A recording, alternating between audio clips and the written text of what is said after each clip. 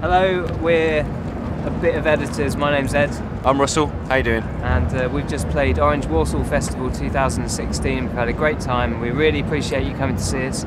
It's been, uh, yeah, a good year for us, and we hope you've enjoyed our show. We'd love to see you again very soon.